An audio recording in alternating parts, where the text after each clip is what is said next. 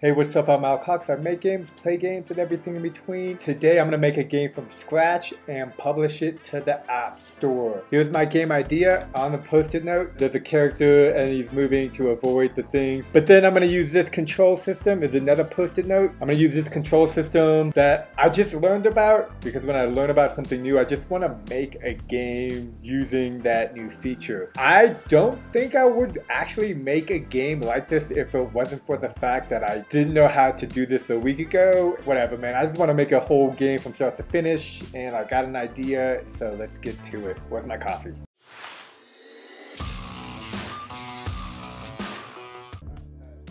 Before we begin, do me a favor, hit that like button, subscribe, hit that bell if you haven't already, as I put out content around making games with Buildbox. There's a saying I like, and it's, uh, I don't even know if it's a saying or I just say it to myself all the time, but in order to do something you've never done before, uh, you're gonna have to do something you've never done before. So I have never sat down and made a game from start to finish, like upload to the App Store, submit, finish, which is usually a pain in the ass. And I've gotten it down to a science. So, so I think step one, create new 3D game. Um, and my internet is like not working right now. I'm in Colombia. With Buildbox, you do need to be able to connect to the internet. What this means for me specifically is I'll need to be saving a lot. I mean, you should be saving anyways because Buildbox is like, oh, you know, dodge this. And I can change the name later. The idea is to just get moving. From here, I generally just make a UI screen and this will be called game UI. And then from here, game over UI. That's good for now. Let's get some basic mechanics working. We are not gonna want texture go ahead, add a sphere, go into the assets, grab, grab a diamond. I think that would be cool. Let's make the sphere the character. I'm gonna duplicate this cube a couple of times. Let's change this angle. Cool. I'm gonna make some scenes. Lately, I've been trying to make everything in a single world because in the free version of Buildbox, you only get one world. And personally, I think you can do a lot with one world. The first thing I wanna do is add a background. This is to be, we'll call this BK cube. Grab it here, put it in, make it small, the size of the start. I want to move that to zero, move this to negative five, sure, why not? Keep it centered, and so this should be z.2.5. That's background one. Let's move this over to zero and put the end to something like negative 10. We can always change it later. I think it's best to start with something and move forward. As this is the background cube, I'm going to set the color animation and timer. I think I want to have maybe three different color animations. I'll set the duration to two as I found that two kind of work good for me and this is where playing and experimenting is super important because you can see what works for you and then when you are faced with the decision again you know where you're comfortable with. So we got to disconnect these pick pastel type of colors and again none of this is set in stone. This can be changed down the line. And look at the camera view see how it looks cool. I need to change some things, move this to kinematic. Oh, or static is actually probably the best. This will be a background, so it's not gonna be doing anything special. I want the character to be a sphere. Let's move them in the middle. We do not need that cube right away. Delete that cube. This will be the character, change it to player. And we're gonna want it to be kinematic. Between you and me, I think dynamic characters are really cool, but we're just going for a kinematic character here. Then this player will have move controls and we're going to set Y to zero because we don't want the player to be able to control the movement on the Y axis, whether forward or up, just none. Sensitivity to one, I feel like is a good one. Cool, so we're moving this back and forth, good. I like to add a position limiter, I think is always good on start. Also, save. It's been too long since I saved and we don't know about my Wi-Fi connection. See, look at that. Position limiter. Okay, X2 and then 2 and then what this means is you cannot go more to the right. You can only go negative X2 to the left and x2 to the right. I'm gonna go ahead and change those numbers to 4. And when you don't want anything to change on the z or the y, go in here and just hit delete. That's what you want. And then you won't be missing, oh, See, now it's not working. Oh, it's four, okay. Okay, perfect, that looks good. I guess I can make this background cube the length of 4, might as well as I think that would look better for the gameplay, cool. And then the next thing we want is for the character to be moving. Oh wait a minute, I totally just remembered the whole purpose of this game was to create a unique movement type using the control buttons in the UI. Let's get the game UI connected and then from here let's grab some control buttons like that, like that. And here I'm just trying to make sure everything looks good and it's set up properly. Let's also add a score. This game will have score,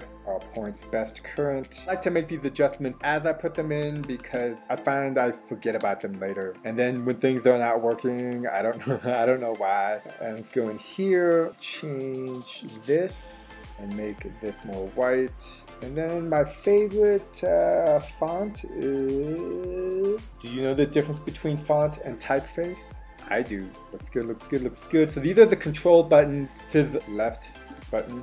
Then this will be right button.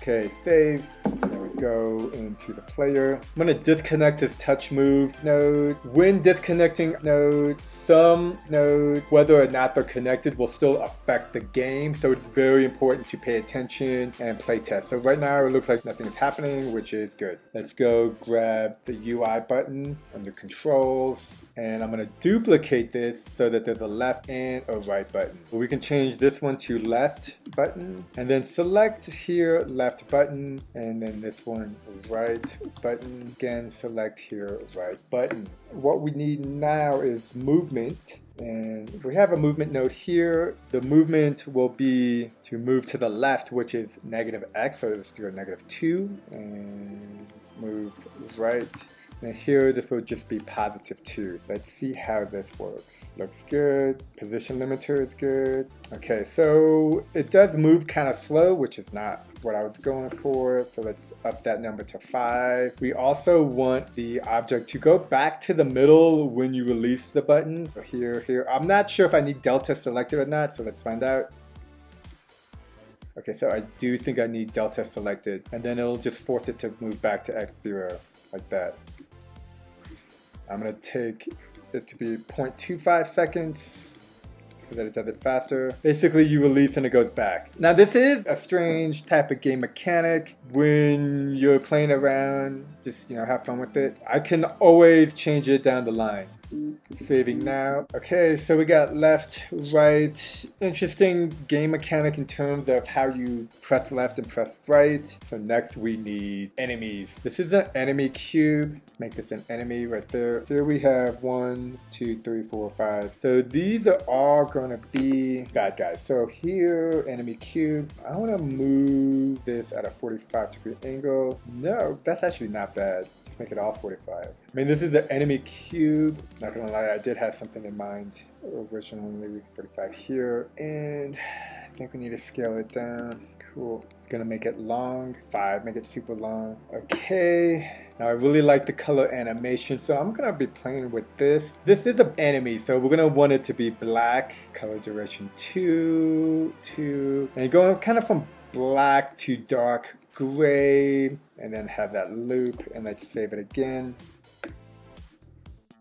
Did you see it Phil? This is a kinematic enemy. I, I kind of want to add a wave node to it just because I, I like the wave nodes, man. I think they're really cool, useful, and they just add a cool depth to the game. Let's go ahead and make it move Y, but just having a wave node is okay. But, you know, when everything is moving at the same speed, then it makes things predictable and that's not cool. So we're gonna go ahead and just change one of these to two speed and then the one speed and then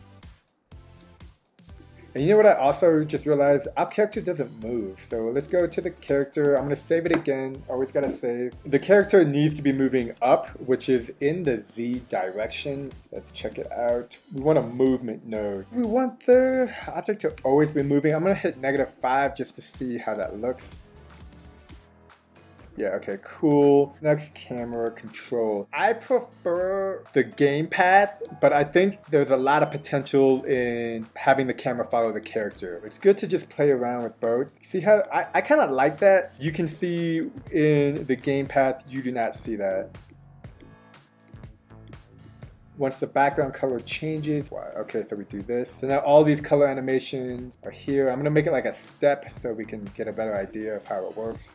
Save as always. And, it's supposed to be that if you hit that character, you die. Make sure this is set up to enemy. Oh, you know what? We don't have a player if collide with enemy, anything happens. Go if collide. This is also a good time to add event observers. This game will not have a level complete. It's gonna be an infinite forever game just call this one game over if collide with enemy. Let's connect this. Always connect if collides to created node right there. I have made so many mistakes on that. Go here, game over node. Now whenever you have a game over node, add an event observer here. And this event observer is called game over. And you go here. Oh, you know what? We want to delay as well. We don't want it to go game over right away. We want maybe like 0.5 seconds to happen and then go game over we're gonna want debris explosion as well because that's like really cool and easy to do. Let's go to the asset library, grab another sphere. This will be called the debris. We're gonna go and add set random color.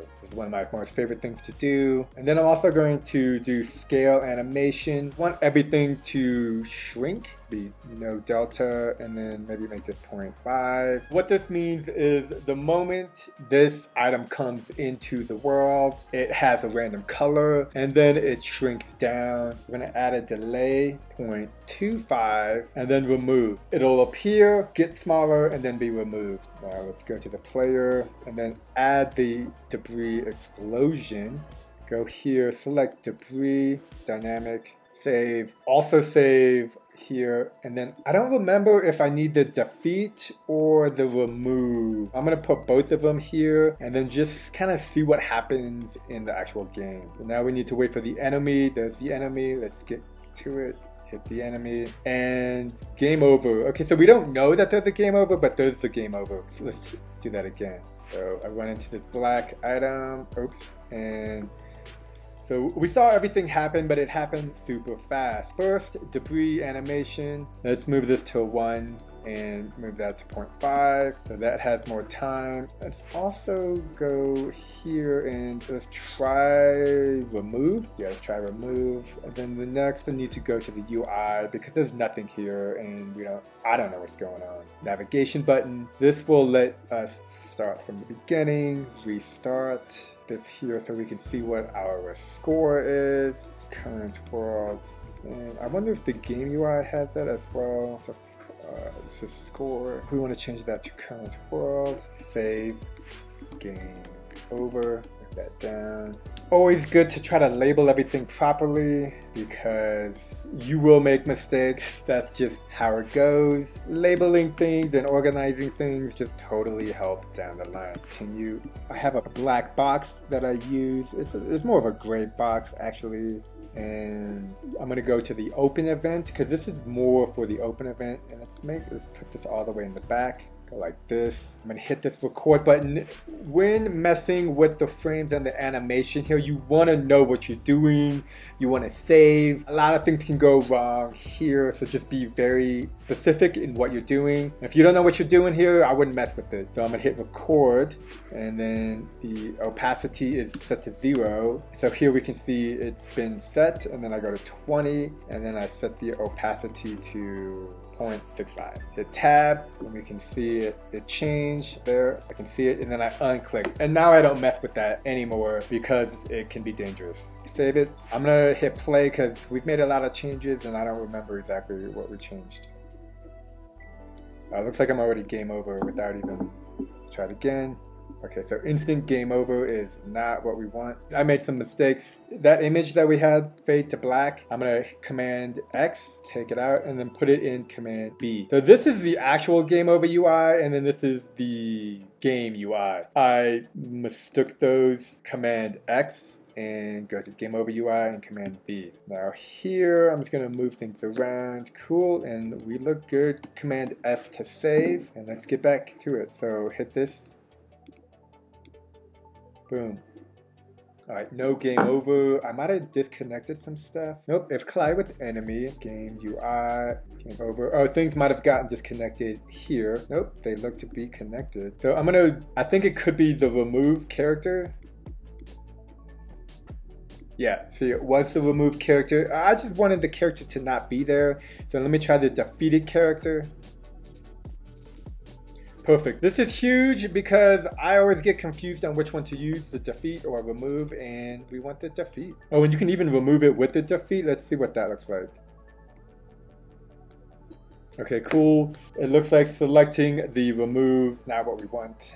Gameplay looks pretty good, so I'm gonna go ahead and take this and just kind of Command C, move it around. And here we're just moving some enemies around to kind of have the game have multiple options so you've got to be paying attention. Now there are ways to have the object appear randomly in certain areas. We will not be doing that today. let's try connecting it like this. Alright, so we are back to moving. Cool. Now I kind of want to move a little bit faster. Cool, yeah, so this is much faster. And then also, let's give the character a color. I like yellow, I think it's pretty good for characters. I'm gonna change the position limiter to 3.5. See how that looks. Cool, and then we're gonna want trail, play with that, save. Now for the trail, I usually go to the deep fly asset, grab that, Here's the trail. There's also defeated animations. Might as well grab that as well. Defly, defeated animation after defeat.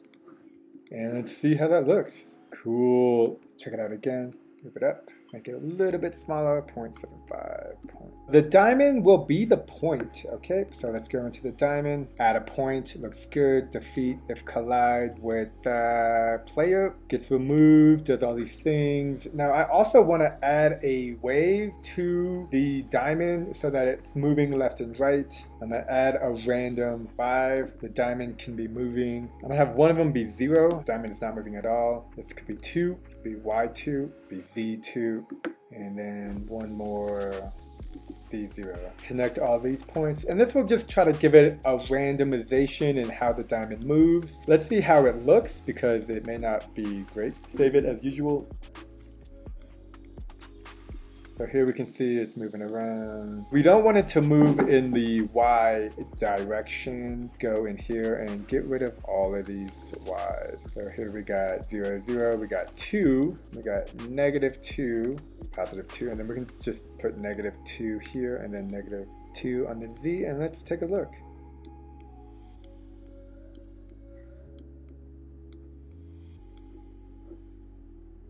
Cool. That looks great. It looks like the game over needs to be a little bit higher. Save it again. And now I just want to add this to all everywhere. My biggest concern will be if the diamond goes through the enemy, but okay, save it and save. Let's test.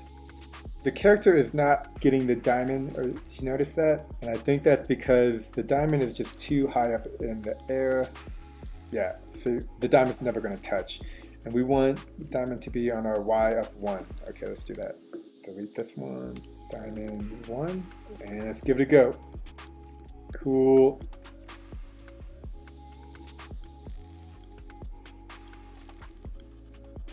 Next thing I want to do, because this is an endless game, is add some difficulty to it. So we go to the player, then we want the movement, select move, and then here we go, increase by point, and we're gonna have it increase by 10% a point, which is kind of a lot, but this game is not supposed to be an easy game. They're gonna reorganize the levels a little bit better now, just because I think it'll be helpful. Let me move this to minus 3, y 1.5, I think it's fine, and z 3. Then this will be 2?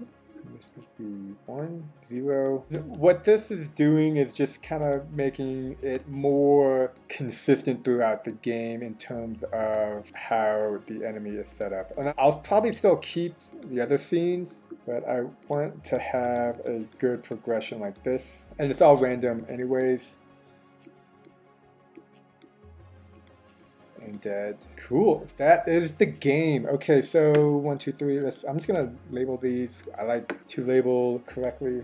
Let's go here. Now I want to add a name to the game just so you know when the game loads, you know that this is Dodge. This 3D. I think it's a good name. Something like this. See how that looks. I usually like it when the game just jumps into the world. Let's see what we can do. I wonder if I can go here and then do is touched. And then maybe this will cause everything to start moving, maybe. So nothing happens. Here's the game and the second you touch, no. Oh, I'm gonna give it a touch move because maybe it's messing it up. Ooh, what if we do this? Then this can be always set to its move. I'm gonna save it because I'm not sure what will happen. Okay, perfect. Next we want some kind of instructions like I think I have a finger image icon that I can use here. Yeah, I don't like that one. Situations like this, is a flat icon website that I like to go to. Finger. There's a finger with a thumb. That would be even better. But maybe not. Cool. I wonder if I can flip this image. Nope. I'm gonna go ahead and take this, put it into Photoshop, flip it, flip horizontal. Perfect.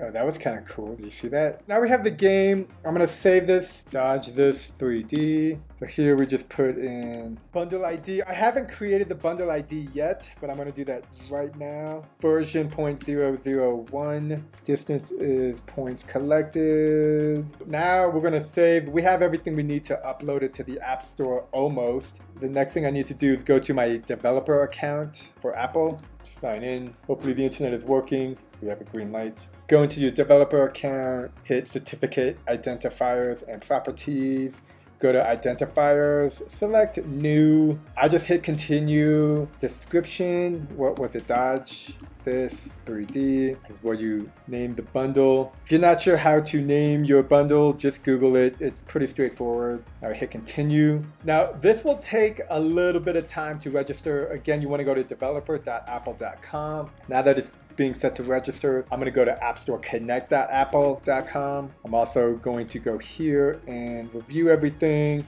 Here is where I also try to make a screenshot of the game. To do that, I'm just going to zoom in a lot. It's not letting me zoom in. I'm just going to make this super big and let's take it off of debug mode and where this doesn't look great. So what I'm gonna do is actually just move the camera so that I can get a better angle and be sure to pay attention to here. Oh, you know what? I can just maybe move this and then we are zoomed in a lot. I'm gonna go even more. Okay, maybe that's too much it looks like. And then I do control shift command S5, something like this. And then, yep, Command S5 is key and then I'll just hit this button and I'm gonna add some fog as well. Just use whatever is the default and then try to you know, I'm just gonna play the game. And I'm taking screenshots right now so hopefully one of those is decent. Let's take a look at all these screenshots that I took. I'm not gonna lie they're not great.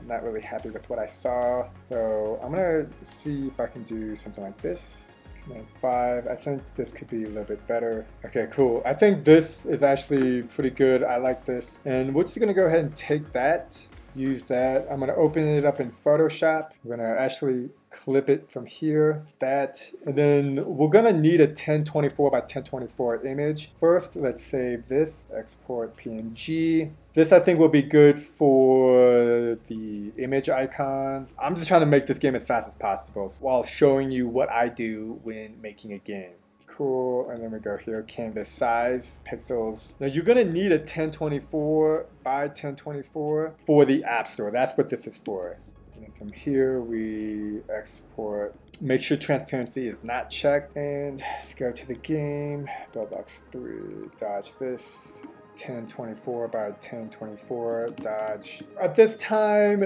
the game should have been processed through Apple. We can just go here, select the new app, iOS, Dodge this 3D, English, bundle ID. So up oh, there it is and for access, everything looks good. Create. From here, we can actually just go ahead and export to iOS. Whenever making a game, I think it's super important to put the game on a phone as fast as possible. What you play in the simulator may not exactly be the same on your phone. This just reminded me that Smart Penguin has a frames per second asset that is super helpful. I kind of wish I would have put it in here by now, but I'm moving so fast I didn't even think about that. So here is the game and these are screenshots. What I do for screenshots is really just take pictures on my phone and then use those. And I'll show you a shortcut for all of that in a second. Here's a 1024, we put that there. Image is wrong format. What? Oh, you know what? Let me do this. .png. See if that helps. Sometimes that works. Sweet. It's totally gonna work, I think. Next we have the game here. Oh snap, the game is zoomed in way too much, so let me go ahead and cancel everything I was doing. Basically I need to save it again, but with the camera set to 1 for the X, Y, and Z. So let's go ahead and export iOS, dodge this 2, save, always save here because if you forget, that is one way to learn. All right, next, let's go back. Whenever uploading to the App Store, I always use this lines of code to turn off the music on the game if you're listening to music. I personally hate it whenever I'm listening to music and I load a game, the game stops the music. So that's the code I use to make sure that doesn't happen. The game name, dodge this.